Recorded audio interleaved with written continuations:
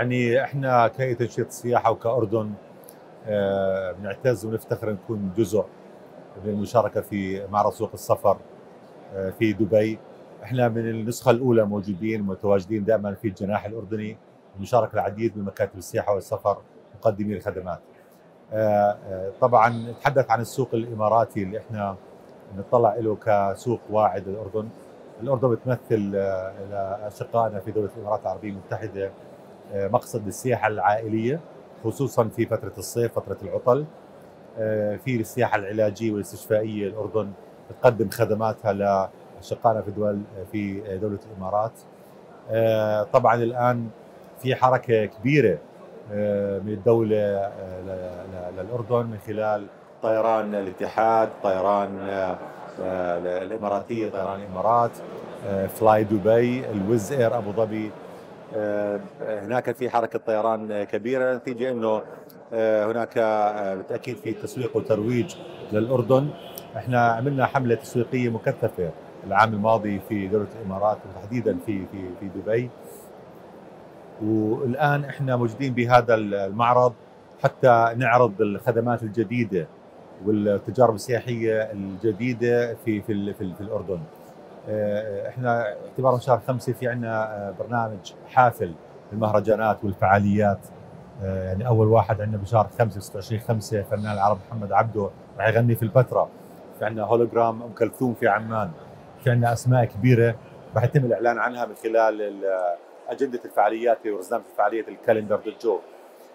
الحقيقة وجودنا هنا بين أشقائنا وخصوصا الأسواق العربية الأخرى السوق الخليجي مهم. آه، بحب أحكي إنه السوق العربي بشكل عام أو الخليجي تحديدا بيمثل أكثر من 50% من عدد السواح اللي بيجوا على الأردن. وبالتالي وجودنا مهم جدا حتى يكون في لقاءات بين آه، مكاتب السياحة الأردنية ونظرائهم من مكاتب السياحة في الدول العربية وتحديدا في دول الخليج. أه بشكرك على هذا السؤال، هناك تجارب سياحية جديدة، يعني إحنا سياحة المغامرة الآن للشباب أه أطلقنا قبل أربع سنوات أو خمس سنوات اللي هو درب الأردن. درب الأردن عبارة عن مسار آه، آه، لسياحه المغامرة آه، بيمتد حوالي 700 كيلو من الشمال للجنوب بمر ب 75 قرية. طبعا ما يميز هذا الدرب إنه في تنوع في تضاريس تنوع في المناخ تنوع في حتى المناظر. يعني في الشمال عندنا في الأردن كلها غابات في منطقة عجلون ومقيس وجرش والسلط ومادبة. بعدين بتنزل على مناطق اللي هي في البحر على اخفض بقعه في العالم اللي هي بحر الميت اللي هي مقصد للسياحة الاستشفائية ويعتبر بحر الميت زي انت عارفة إنه أكبر منتجع طبيعي في العالم. وبجوز في ناس كثير ما بيعرف إنه تركيز الأكسجين في البحر الميت أكثر ب 10% من أي مكان في العالم وبالتالي يعتبر مقصد للسياحة الاستشفائية والطين الموجود املاح البحر الميت. آه وادي رم طبعا مقصد الآن للسياح وللتخييم وفي عندنا ال bubbles اللي تحس حالك على المريخ. يعني حتى مؤخرا كان في فيلم تصور اللي هو The Martian المريخ يتصور في في في وادي رم. آه، طبعا البتراء الآن في البتراء by night اللي هي برنامج ليلي. الآن راح يتم إطلاق المنطاد إن شاء الله في في في البتراء آه، اللي بيرتفع حوالي 300 متر بتشوف كل المدينة الأثرية. العقبة هناك سياحة الموجودة اللي هي الغطس وال water sport أو الرياضات المائية. وفي مدينة كمان آه، مدينة مائية موجودة في في في العقبة. آه، العديد العديد من التجارب. الآن عم نركز على سياحة التجارب السياحية المحلية بسموها بين قوسين اجري توريزم اللي أنت بتروح على مزرعة أنت وعيلتك تقعد بتعيش كحياة المزارع حياة الريف وبتفطر وبتتغدى وبتتعشى من منتجات المزرعة. وهذا موجود الآن صار في الأردن بشكل كبير على انتشار واسع. آه، آه، دول الخليج الحقيقة الآن عم نشهد كمان حركة ومدعوم من الهيئة اللي هي سياحة الدراجات. بيجوا ال bikers ال سواء بيجوا على الدراجات النارية أو حتى على الدراجات الهوائيه بس الدراجات النارية الآن الأردن صارت مقصد لل bikers من دول الخليج. بيجوا على الأردن مجموعات سياحية نقدم لهم كافة التسهيلات كهيئة تنشيط سياحة.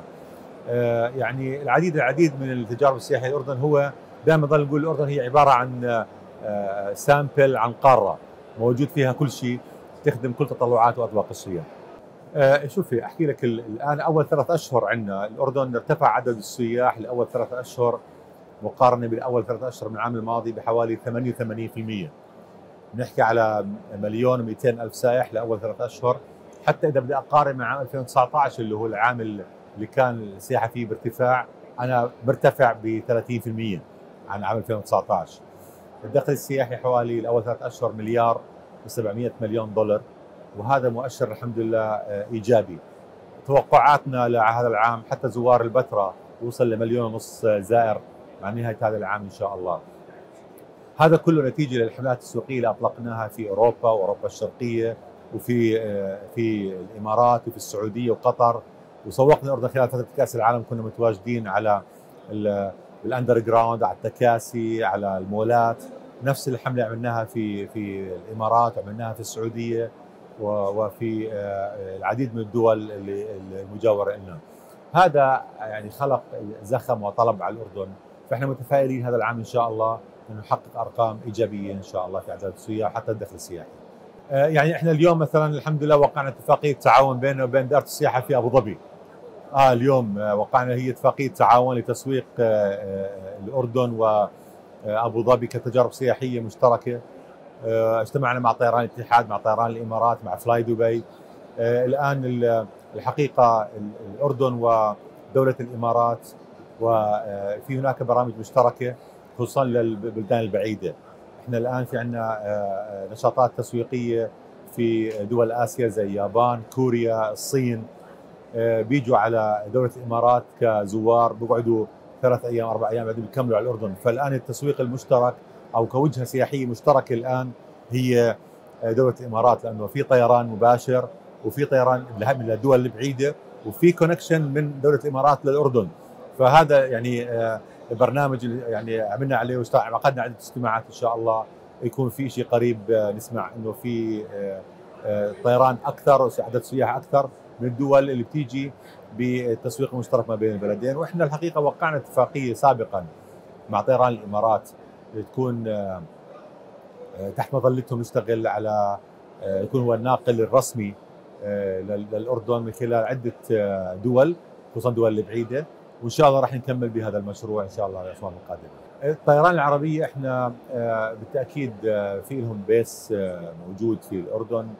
ومكاتب إحنا الآن عم نشتغل معاهم بشكل مباشر للتسويق والترويج. عقدت عدة اجتماعات ودائما اجتماعاتي مع مع الطيران العربية في في عمان. عم بنقلوا أخذوا الآن خطوط جديدة من أبو ظبي لعمان. حوالي سبع رحلات اسبوعيا بيحاولوا يرفعوهم. وعم نشتغل معهم على التسويق والترويج المشترك وإن شاء الله يزيدوا عدد الرحلات كمان. شكرا على هذا السؤال؟ يعني أنا الحقيقة بفتخر أكون من ضمن أفضل 30 شخصية مؤثرة بالسياحة في من خلال ملتقى السفر وفي ال Middle East في الشرق الأوسط نكون تم اختياري إلى جانب أسماء كبيرة. يعني سمو الشيخ محمد بن آه، راشد آه، وزراء السياحة الموجودين في السعودية وحتى وزراء البيئة والثقافة في دولة الإمارات وسي اوز لشركات طيران. أكون أنا من ضمنهم هذا فخر واعتزاز آه، إلي بفتخر فيه.